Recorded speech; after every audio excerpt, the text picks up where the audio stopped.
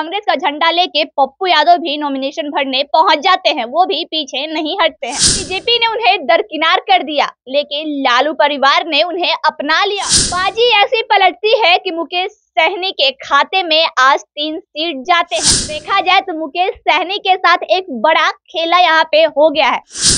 लोकसभा चुनाव को लेके सरगर्मी तेज है। अगर बात करें बिहार की बिहार में लोकसभा चुनाव को लेके बिहार की राजनीतिक गलियारियों में जो लगातार गर्मा गर्मी देखने के लिए मिल रहा है, किसी से छुपा नहीं है। अब पिछले दिनों की अगर बात करें तो एक तरफ़ बीमा भारती पूर्णिया से अपना नॉमिनेशन भरती है, वहीं कांग्रेस का झंडा लेके पप्पू यादव भी नॉमिनेशन भरने पहुँच जाते हैं, वो भी पीछे नहीं हटते हैं। अब बात करेंगे आज के सबसे बड़ी खबर के बारे में। जी हाँ बिल्कुल, लोकसभा से जुड़ा आज का ये सबसे बड़ा खबर ये है कि मुकेश सहनी को यानी कि वीआईपी पार्टी को महागठबंधन की ओर से तीन लोकसभा सीट पे चुनाव लड़ने के लिए ऑफ़र दिया गया है। जी हाँ बिल्कुल। आपको बता दें, पिछले कई दिनों से मुकेश सहनी कभी बीजेपी के टच में थे तो कभी लालू परिवार के टच में थे। लेकिन बीजेपी ने उन्हें दरकिनार कर दिया। लेकिन लालू परिवार ने उन्हें अपना लिया और तीन लोकसभा सीट उन्हें के खाते में दे दिया।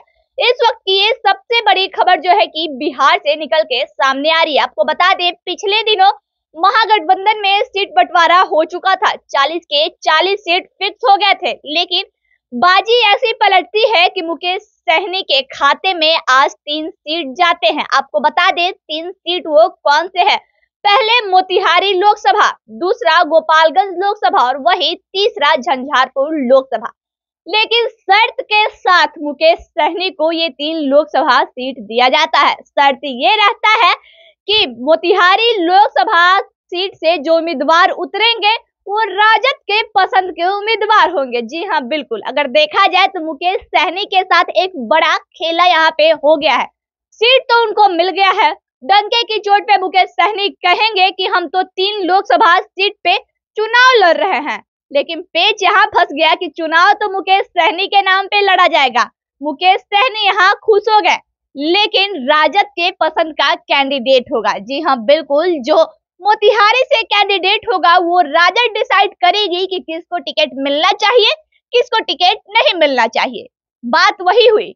कि नाम किसी और का, काम किसी और का। जैसे नाम है मुकेश सहनी का कि वीआईपी पार्टी को तीन लोकसभा चुनाव में सीट मिलते हैं, लेकिन उसमें राजद ठप्पा लगाएगी कि किस कैंडिडेट को टिकट देना है, किसको चुनावी मैदान में उतारना है। तो आप समझ सकते हैं बिहार की राजनीति और बिहार की लोकसभा में जो बवाल मचने वाला है, उसके लिए बिहार वासियों को तैयार हो जाना चाहिए। तो आपको बता दें पिछले दिनों बिहार लोकसभा चुनाव को लेके बीजेपी पहले अपना टिकट बंटवारा करती है, जिसके बाद चिराग को पाँच सीट मिलता है। चिराग पाँच सीटों पर अपने उम्मीदवार उतारते हैं।